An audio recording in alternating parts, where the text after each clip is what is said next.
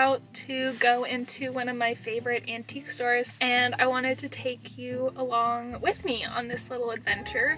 I haven't been in a couple of weeks so we will see what is in there but this is my first video and I just wanted to introduce myself. I'm Vivi and I love antiquing and thrifting and just wanted to take you along with me on these little adventures. I also have an Instagram. It is called Viv's vintage finds and I post a lot of videos on there as well and I also sell some of the things I find on these little adventures. If you see anything you like let me know and I can post them and I have some things for sale on there already. But I just am excited to start this little experiment, this little journey and I will try to post as much as possible and take you to some of my favorite places around Vermont. Come with me and I will do a little haul afterwards as well. Okay, see you in there.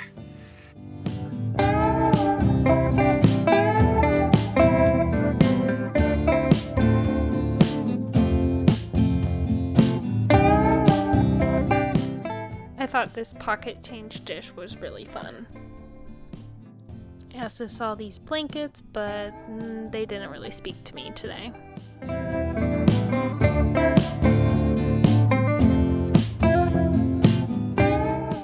Since I've started vintage shopping, I have also developed an addiction for glassware, so I had to resist getting these.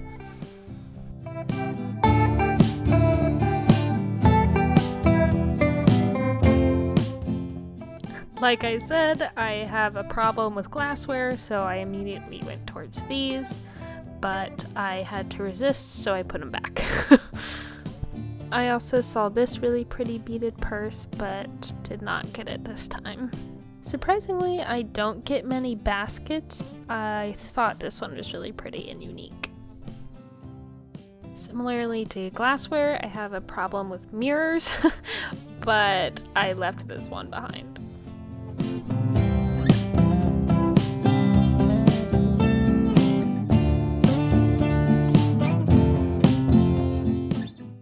Another thing I always gravitate towards in vintage stores are candlestick holders. When I first started out, I got a lot of them, so I don't get them as much anymore. I don't have any silver ones, so these were definitely pretty. I'm looking for something that makes me even more excited if I'm gonna get another candlestick. I also love vintage plates because they have many purposes for me. I use them to decorate my apartment as well as eat on them. I have a lot right now, so I left this one behind.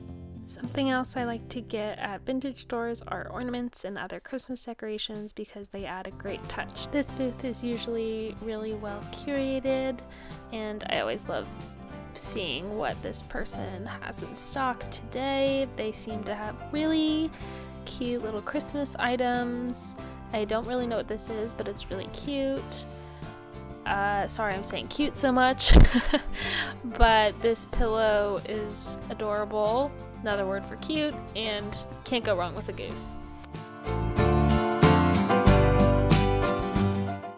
This booth also has really cute items. Oh, look at this little guy. I think he was a piggy bank? Yeah, piggy bank. And I love things that have old cars because my granddad loved old cars. I left this little guy behind because there was a logo on top for like some bank, I think. And also mini items I am always gravitating to, like this little mini jug, but it was $12, so I said no. I love crystal and glass, and so I use these kind of trays on my bedside table to hold my little knickknacks, and they're usually really pretty and a great size, and add a little bit of character to your room.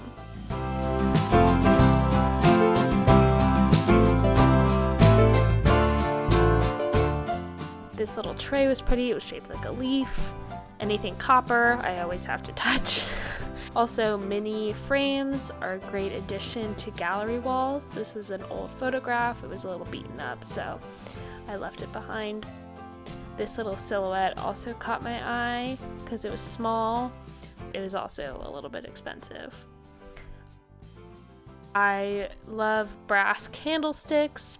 I have a lot of them, but they make your apartment have that little vintage touch and you can style them so many different ways. So if you're getting into vintage, having a lot of brass candlesticks is a great start. I don't look for bags very often. Occasionally I find a really good one. This one was Michael Kors and it was in really great condition. I couldn't really see myself using it. It also was only like $28, but it was a really great find.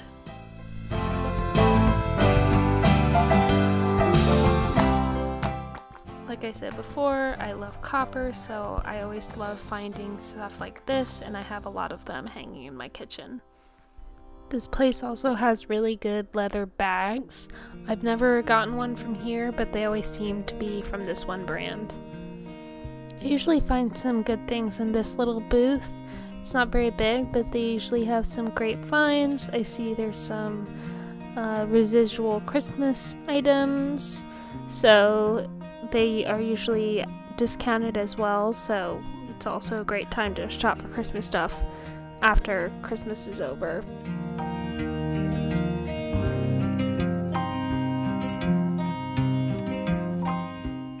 I also like this booth because they usually have really pretty old books, which I always look for because I decorate my apartment's bookshelves with them. And I found some good ones here. They also have more candlesticks, but they're a little on the pricier side. I'm also a sucker for a good teapot, especially ones like this that are really small and unique. I also gravitate towards brass a lot, so I'm like a magnet towards brass, but this one's really pretty and has a wood handle and really pretty detailing, so I definitely took this little guy home. Also, whenever I see a box that says frames, I have to look through it no matter what, because you never know what you're going to find.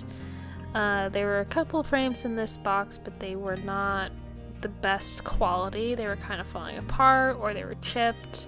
So I passed on these. Part of the reason I love vintage shopping is because it's like I spy and I love the hunt and so I love going to new stores and kind of looking through all the nooks and crannies of each store to try to find um, a gem. So it's just part of the journey and why I want to take you guys along with me. I usually don't find two boxes of frames, so when I saw this one, I about had a heart attack. I saw these and I saw gold, and I knew I was going to find a good one. These first few were a little too skinny or chipped for my liking, but this one is the one that caught my eye immediately and it is gorgeous. This is the best frame I have found in a long time, and it is barely chipped at all.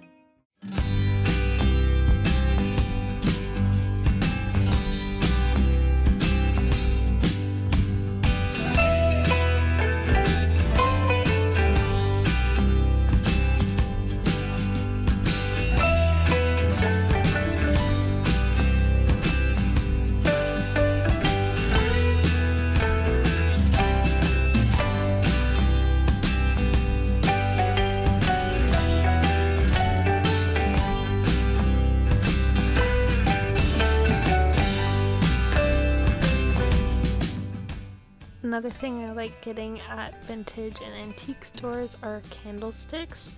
I've gotten this a lot, especially around the holidays. And this is a really pretty cake stand, but I have so many, so I left that one. Then I spotted this little gem in the corner, I don't have any space for her, but she is really pretty and solid brass. It was hard to leave her, but she's big and heavy.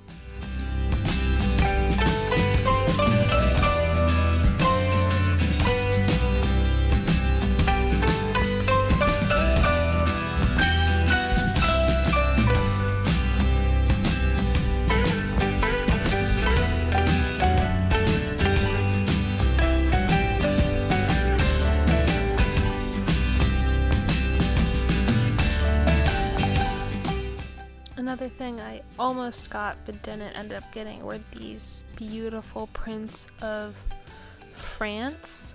There were five of them. You could get five of them for $100 or you could get them separately for 30 but I just don't have any wall space for them, but they were really, really pretty and it was hard to leave them behind. Okay, I am back from my little adventure. Super fun. They had some leftover Christmas stuff and then they also had some new items. I come here quite a bit so I kind of can tell when something's new and just put in or it's been there for a while. Like there's some things I like always gravitate to that have been there for like months and I'm like, I want to buy it, but I'm like, I don't I'm running out of room for stuff in my apartment. Like I have a whole other extra like guest room that I put most of my vintage stuff in. I am just starting to like sell things so hopefully my little collection will go down so I can get more stuff but I wanted to show you I got two things. First thing is I always gravitate towards teapots. I got this super cute brass teapot and I thought it was like really good size for keeping on your stove or something as decoration. So it's super detailed and unique. There's like a twist here and then the handle is like a wood carved handle and it was like $15-ish. So that's pretty good. And I can sell this if you guys want. I will put it on my Instagram sometime soon. I need to like go through my collection, see what I have, what I can sell. Um, maybe that'll be another video. So got this little dude, super cute. And then I almost had a heart attack when I saw this next thing because I was like, you'll get to know me. But I love frames and I love vintage frames, especially gold vintage frames. And I have realized here in Vermont, they are slim to none. Like a lot of them are skinny. So like little thin ones. So finding like a fat one, like vintage is difficult. So I get most of mine on Etsy and actually a lot of them are newer made to look like vintage because I just cannot only source vintage ones of all the gallery walls I have. But I found this guy. He needs a little work that I can do. Uh, look at her. She is stunning and like four by six, which is I've realized is kind of a harder size to find in old frames. A lot of them are like really obscure random measurements. you kind of have to get like a custom print to put in it. But four by six is like the most common frame size. So I'm like, what? She has amazing detail on the edges here great color, no chips or anything, and it was only like $12. and I was like, what? Excuse me. So this one might be mine. I might not sell this one because I never find these, but I'm always on the hunt for good frames because gallery walls are like super easy to do and I have say three at least in my little apartment. So definitely a fun find for sure. So not a huge haul, but some great stuff. This has been my first video. I'm so excited. I hope you enjoy this video comment on any other videos that you would like me to do. I'll probably do either like an apartment tour and show you all the vintage stuff like that I've styled in it or I can do going through the vintage stuff I have found that is in my collection that I can sell. If you want to see some of my other videos that I've done on Instagram and TikTok, I have both of them. Instagram and TikTok are both Viv's Vintage Finds. Um, I will comment those down below. Head on over there and hopefully I'll see you in the next video. Bye!